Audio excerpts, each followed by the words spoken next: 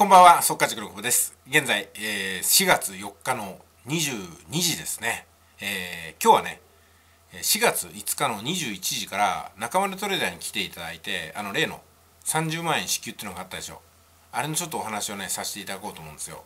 まあいろいろとね、闇の部分とか、ずるい部分とかね、あると思うんですよ。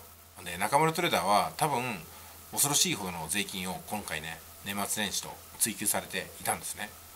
でそこにはものすごくね意地悪だったりとか1円たりとももう分取ってやるぜみたいな意識を感じたのにいざね困った人にお金を払う段階ではものすごく渋るわけですよ。これ現政権ってのは。いやこの辺もね私も言いたいことがあります。もうね私に金をくれってわけじゃないんですよ。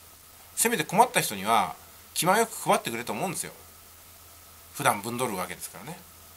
ということで、えー本日4月5日夜21時からズームのライブがございますんでよろしかったら一緒に怒りをぶちけまぶちぶちまけましょう。でついでにですね FX でもうねいいよと。俺たち自力で稼ぐよっていう方は毎月毎月30万ぐらいは稼げるように FX でトレーニングしていただくと。そういうふうなねこともちょっとお話しいただけると思いますんでまあ21時からお付き合いください。それではね Zoom の URL を下の概要欄につけておきますので一緒に送りましょう。もうねどこをぶっ壊せばいいのか分かりませんけどもとにかくぶっ壊す。それでは失礼します。